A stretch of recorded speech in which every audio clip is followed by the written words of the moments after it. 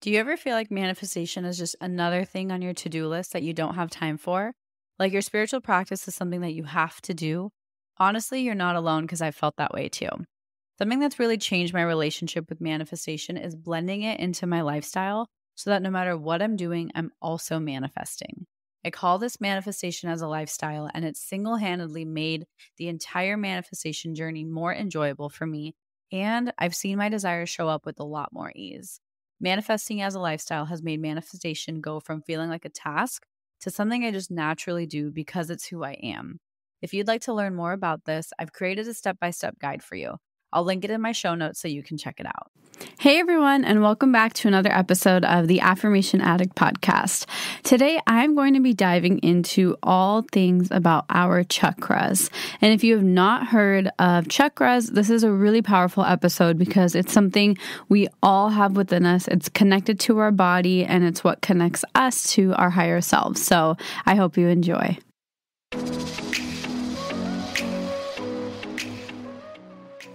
You're listening to the Affirmation Addict podcast with Payal Agarwal.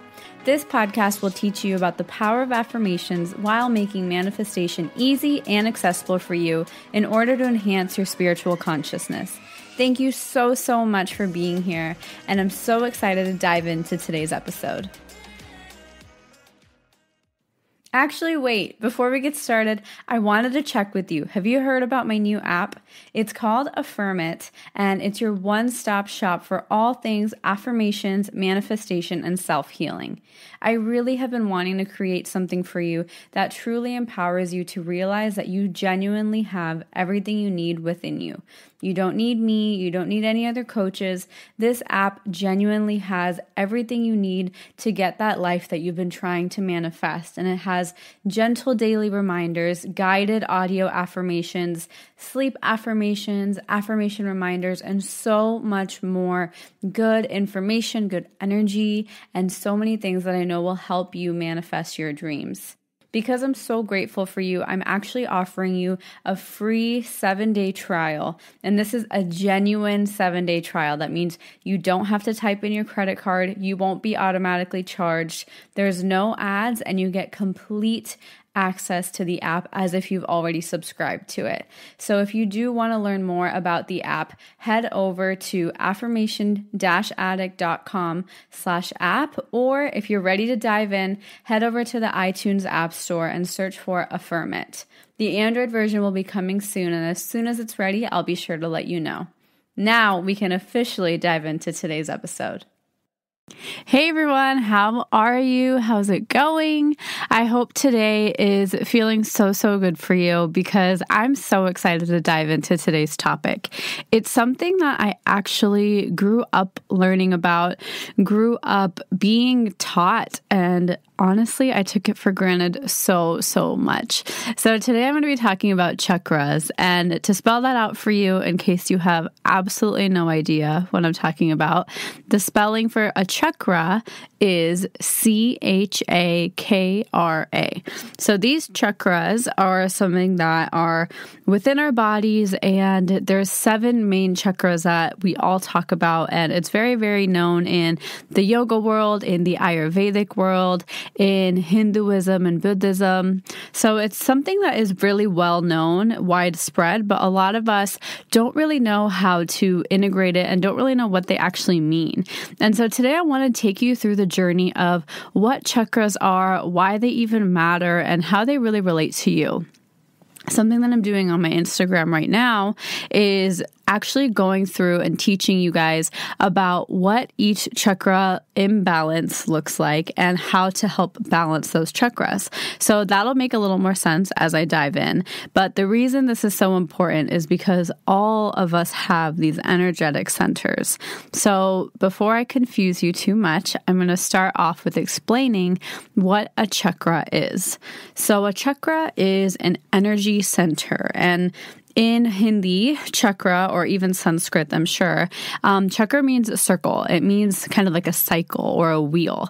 And so that's really what these chakras are. They are wheels of energy, circles of energy that are within our body and along our spine. And they are not literally on your spine, they're actually in the center of your body. So, like two inches from your belly button and two inches from your spine, like literally the center of your body and they're not physically there, but there are tests, there's aura readings that can actually detect these chakras, which is super cool now because that science is now available.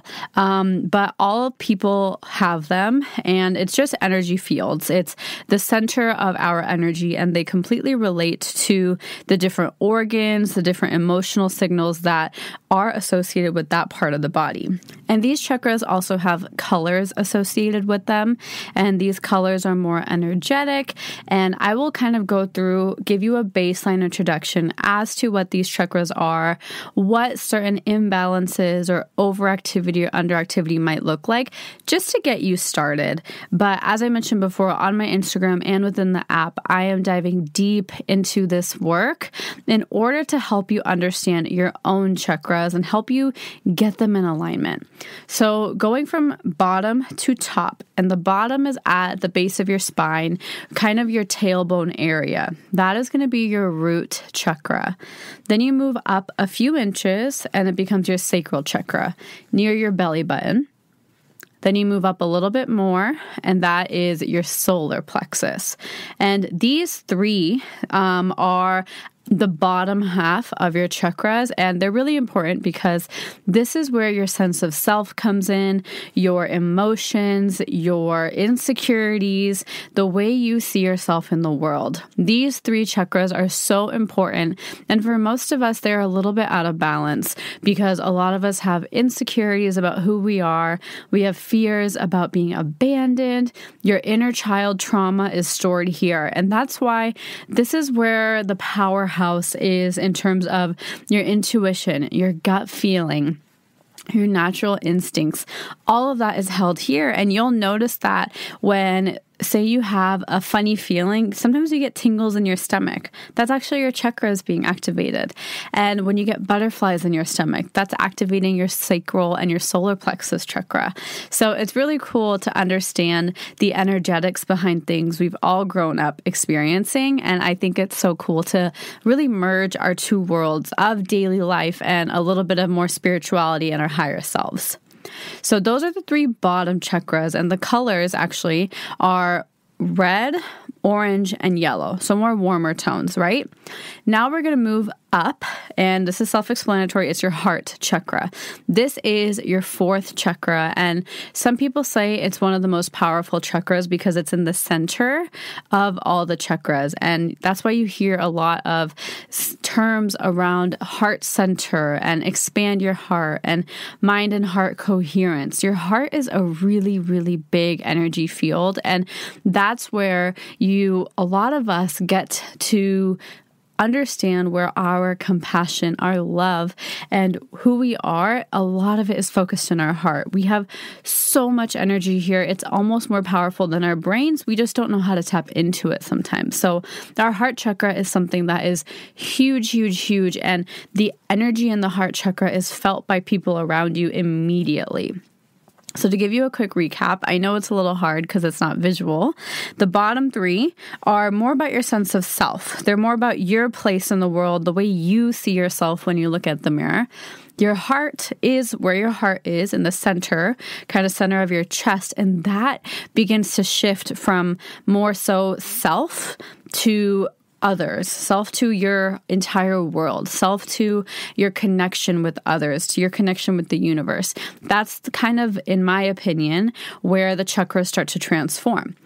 And now moving up, the next chakra above your heart chakra is your throat. Your throat chakra is a really, really powerful one because this is your hub and your center of communication, expression, authenticity.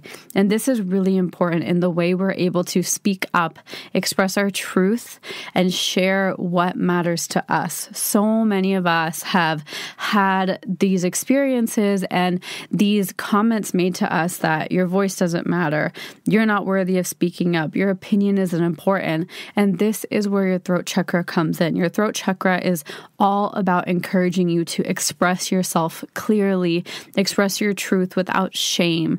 And it's my favorite chakra to work on with my clients because I think this is the chakra that people think it's so easy to understand, so easy to do. But I think once you can truly express your truth, that is when the game changes. And I think it's a lot harder to understand that until you have someone guiding you through that process. So, this chakra for me is my favorite to help clients explore because I think it's the most underrated chakra that has so much power. Now, moving up, this is the point in between your eyebrows. You have probably heard about this through different meditations. You've probably heard about this in your yoga classes. This is your third eye, and it obviously has a lot of energy there. This is where your intuition is. This is where your vision and your connection with your life purpose and how you are going to serve the world and your vision for your future. This is where that lies in your third eye chakra. And some people love this chakra because they love having a plan. But some people really struggle with this chakra because they crave a plan, but they're trying way too hard to get it. So that's where the third eye comes in. It's the seed of your purpose here, your journey on earth, your journey in this lifetime. That is completely seated in your third eye. And that's why so many meditations tend to focus on your third eye because it's like a projector. It's like a screen in front of you and you're projecting what you want onto that screen. That's like what your third eye is. And lastly, moving up, this is more so at the top of your head. And think about it facing up. So, most chakras you imagine facing forward as if you're just looking at yourself in the mirror. But for me, I really enjoy imagining my crown chakra facing up I like to consider this as my chakra that's connecting me to my higher self, to the universe, to all other dimensions and realities. It's kind of that chakra of heightened senses, spirituality, limitless possibilities. It's where all of the juicy stuff comes in. That's where our crowns are. To me, it's our download and the channel between our higher selves. And so, to walk you through quickly the importance of these chakras, going going from your roots to your crown, all of these have meaning, have purpose, and are so telling as to why we are the way we are. These chakras and the way their energy is is so indicative as to who we are and our personalities and the way we process emotions and feelings and experiences. And that is why these chakras are important. It's basically your mind and body connection in one area. If you work on your chakras, your mind and body become even more connected, which will therefore connect you to your soul and your higher self. So that's why the power of your chakras is so important because they are your kind of your sensors, they're your radars as to what's feeling good, what's feeling bad. Am I operating good in this area? So when you understand what the operational functionality of each chakra is, you're able to dive in and see okay, does this chakra need some balancing or is it good? How am I in this area? So, if you want to learn more about the balancing and if these chakras are balanced for you or need some alignment, my Instagram page and the app has guided details of okay, your root chakra looks like it's imbalanced if you are insecure, you feel abandonment, you never feel like things are enough. Those are three signs. And so I go through each and every chakra explaining what it looks like to have an imbalance and how to get that balance. I will dive into that in a separate episode, but first, I wanted to give you an explanation as to what these chakras are and why they even matter. So, something I really want to share with you is my experience with chakras and chakra alignment when I first was introduced to it. So, I remember my dad growing up would always tell me, Hey, did you know you have these seven energy centers and they dictate your whole world? And a lot of us aren't even aware of them. And I would just say, Okay, like I never really thought much of it. But once I started learning more about it, I was so amazed to see how my world unconsciously revolved around these chakras because gaining that awareness and understanding really taught me that these chakras, these energy centers, these energy fields that are within me are the reason I energetically exist. It's like the basis of my energy and my vibration. If I can get in control of my chakras, I'm in control of my vibration, which means I'm in control of what I'm manifesting. So, for those of you who aren't too aware of chakras, but you know law of attraction, obviously you want to manifest, that is why they're so important because your chakras are the creators of your vibration. Those chakras, those wheels that are circulating and constantly creating your energy, they are dictating what type of energy that's being created. And if you direct some of your energy and your attention towards those chakras, you can choose the energy your chakras are creating. You can choose for your root chakra to be balanced. You can declare your solar plexus to be in alignment and shining bright. You can choose to enhance your heart chakra. You can choose to expand your crown chakra and have a deeper connection with your higher self all by speaking and awareness and your intention. All of that stuff is so, so powerful. And once you understand, then you can actually start doing this magic. And so for me, finally understanding and connecting those dots between my childhood, my culture, and what I learn in books nowadays, it's been such a beautiful journey to see all of that just marry together in such a seamless way. It was something that was so close to my parents' hearts, my grandfathers, and my grandmothers that I took it for granted. And it's just so funny how sometimes it takes you stepping away to learn that your parents or your family or your culture was right all along for you. And so I think it's such a beautiful full circle realization for me. And now me teaching you and spreading this awareness just feels so full and it makes me feel like I'm really living out my purpose by merging my Eastern and Western mindsets and sharing that with you. Because something that I always wanted to do was merge both of my worlds and share that, whether it was through clothing before and then through art and now through mindfulness and spirituality. It's been so fun to go on this journey and document it and have you along there with me. So, thank you so much for just being on my journey and for learning about chakras with me. And I would love to hear about your experience with chakras and what they mean to you and what you what questions you have because I would love to do a Q&A and answer some more questions that are more specific about what each chakra you can do to help balance it and a few tips as to what you can do to balance your chakras just right off the bat is to enhance the color of that chakra in your life. So, if you are working on your heart chakra, that color is green. So, wear more green, eat more green foods, maybe change your sheets to be the color green. Just the power of color is so, so strong. Write your affirmations in the color green, make your wallpaper green, make a mood board out of it. So, that is just the basics, and they're so powerful. I kid you not. But if you need more affirmations, I have it in my app, which is called Affirm It, and that's available on iTunes and Android. I have chakra affirmations, a chakra visualization, and so much more in depth tutorials and tools and different guides for you to go through if you are interested in working on aligning your chakras and aligning your vibration. So I hope this episode was informative and taught you and inspired you to learn a little more about your chakras. Play with it, have fun with it. It's not something that you can ever mess up, as is anything on this journey. There's no such thing as messing up. So I love you so, so, so much, and I hope you have a fabulous day. Mwah. Talk to you soon. So, how did you like today's episode? I hope you enjoyed it as much as I enjoyed recording it. And before you leave, I wanted to just say thank you so much from the bottom of my heart for spending some time with me. If this episode or any of my content has ever inspired you, it would mean the absolute world to me if you could leave a review in the iTunes podcast app and just share this with someone you care about.